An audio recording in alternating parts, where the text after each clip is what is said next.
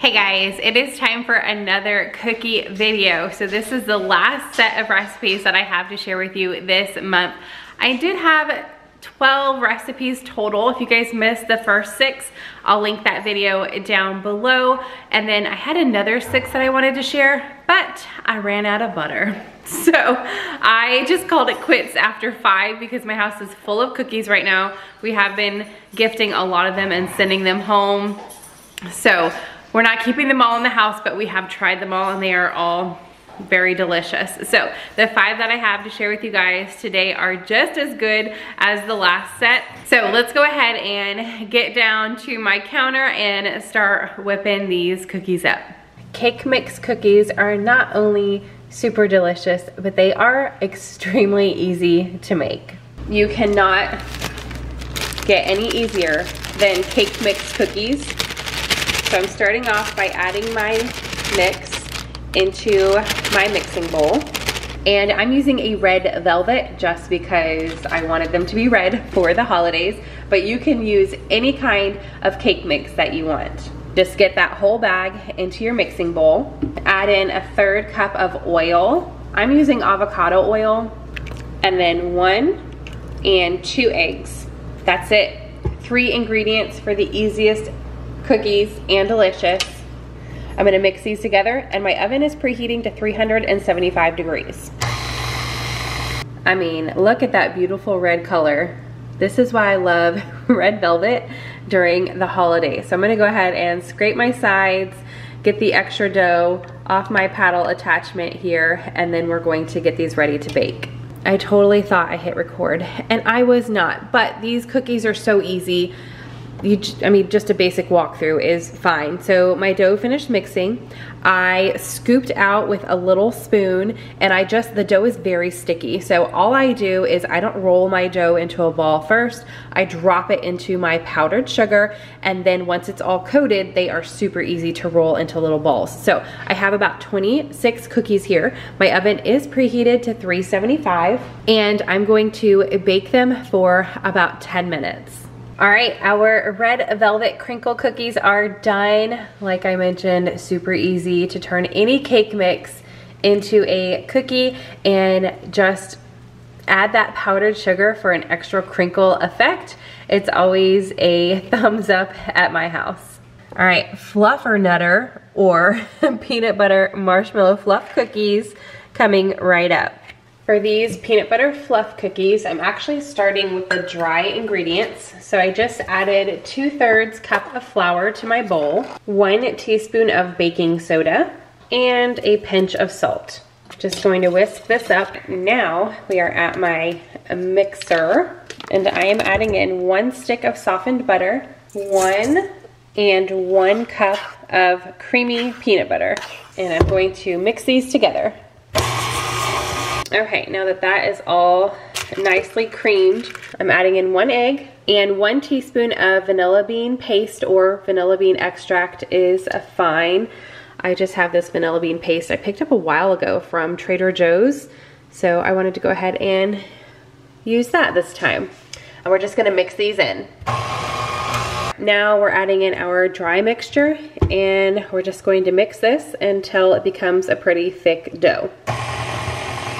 All right, I'm going to cover my bowl with some plastic wrap and let it cool or chill in the fridge for an hour. All right, my dough is chilled. My oven is also preheated to 375 degrees. And now I have a cookie scoop or you can use a spoon. I'm just getting a little bit there. And then I also have some jet puffed marshmallow cream and I'm getting a little bit and I'm just adding that to my cookie and I'm gonna put some more of the peanut butter dough on top of that and I'm gonna get it on my extremely greased cookie sheet. All right, my cookies are ready to go in the oven for eight to nine minutes. All right, here are the peanut butter marshmallow fluff cookies. Now, this recipe was good. The cookies taste bomb, but I think if I make these again, I'm not gonna do it the way that they suggest. And I'll have the recipes linked in the description box for these, but I would like mix in the fluff into the peanut butter dough and then just put them as balls because you can see here like I mean, they're good. They're really good. They're just a little messy looking. For like gift giving, I think next time, or if you guys want to try these out, I would swirl the fluff through the peanut butter cookie dough and then make little balls and cook them that way. But they are super delicious. White chocolate and candy canes go perfectly together in this cookie recipe. Starting off with one stick of softened butter, half a cup of brown sugar, and a quarter cup of granulated sugar. And we are going to cream these together. We are going to add one egg and one teaspoon vanilla extract or vanilla bean paste. Whatever you have is just fine. And let's get these mixed in in a separate mixing bowl, we're going to add one and a quarter cup flour, half a teaspoon salt, and a quarter teaspoon baking soda. Just gonna give these a little whisk. All right, I added the flour mixture to my mixing bowl and I'm going to slowly mix this in. All right, now that we've got our cookie dough ready, we're going to add in some extra yummy flavor, and that is a cup of white chocolate chips, and half a cup of crushed candy canes. Now you can buy these already crushed or just buy some candy canes. It took me about six to whack in a baggie for that half a cup. And I'm just going to mix these into my dough. All right, I got all of my dough onto greased cookie sheets. You could use parchment paper as well. This made about 32 but I'm gonna get these not in the oven, in the fridge, and let them chill for one hour. Okay, my cookie dough balls are nicely chilled. I have my oven preheated to 350 degrees, and I'm going to cook these for 10 to 12 minutes, just until the edges start to brown. All right, cookies are baked and completely cooled. These are super yummy. I love the flavors of white chocolate and peppermint together. I am actually not a huge fan of peppermint in drink form, but in cookie form, I am all for it. If you like cinnamon rolls for breakfast, you're definitely going to love these cinnamon roll cookies for dessert. For these cookies, we're starting with two sticks or one cup of butter softened, adding in a cup of sugar, and I've got this in my mixer and I'm just going to cream them together. All right, I'm adding in one and two eggs along with a tablespoon of vanilla extract. Let's get these mixed together. All right, now we are going to add in our dry ingredients. So I've got one, two, and three cups of flour, one, two, and three teaspoons of baking powder, and half a teaspoon salt. And we are going to slowly mix these together. Oh my goodness, I almost forgot one of the most important ingredients. Two teaspoons of cinnamon. Now we can finish mixing this up. All right, now that my dough is complete, I'm going to get this in the fridge and let it chill for 30 minutes. All right, my cookie dough is chilled. I rolled them into little balls. I have them on a cookie sheet with parchment paper. I dip the bottom of a glass in some flour.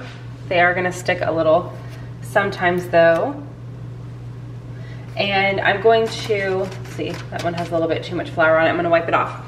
I have my ovens preheated 375 and I'm going to bake these for eight minutes. Okay, all the cookies are done. I got about 47 out of this batch and I forgot to flatten these ones, but that's okay. They're still gonna be super delicious with the icing, but I am going to let these cool completely.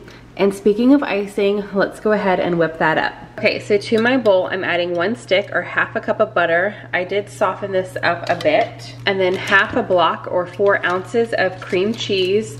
I did pull this out when I first started making the cookies so it could get nice and soft. Then I'm also going to add about a teaspoon of vanilla extract. And I'm just going to use my hand mixer to mix these together.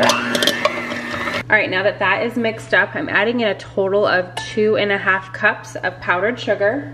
And then just so the powdered sugar doesn't get everywhere, I like to just take a spoon and mix it in just a little bit first and then we'll continue beating it until it is nice and creamy. All right, and this is a little thick, so I'm just gonna add two teaspoons to start, but then just whatever consistency you like your icing, you can add more milk, a teaspoon at a time.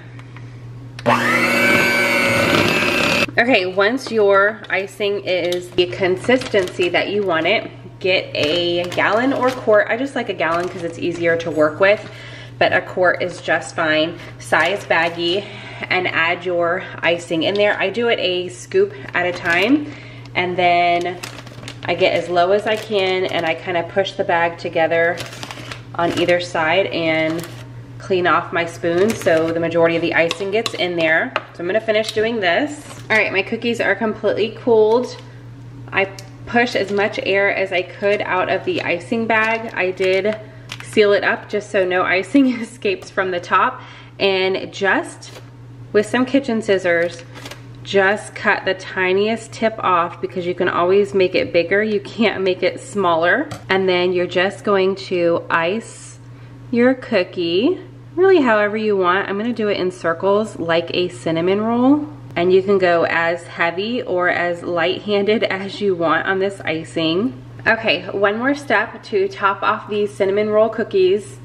You can sprinkle a little cinnamon on top. I, however, have this Cinnamon Toast Crunch Cinnadust, and that's what I'm going to use to top these off. I'm just going to sprinkle them all over the top and then shake off the extra because it definitely comes out a little heavy out of this container. Oh man, I'm glad I made these on the small side. These are so good. If you haven't tried Texas sheet cake, in cake form or cooking form, you are definitely missing out if you are a huge fan of chocolate. All right, for this recipe, I just have a mixing bowl. We're gonna let the KitchenAid rest for a little bit. And then I have this box of Duncan Hines Perfectly Moist Triple Chocolate Cake Mix.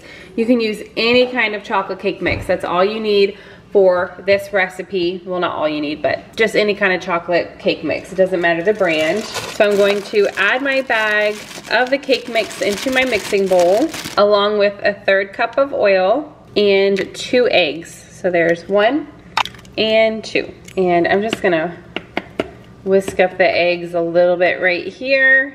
All right, and now I'm just gonna mix these three ingredients together.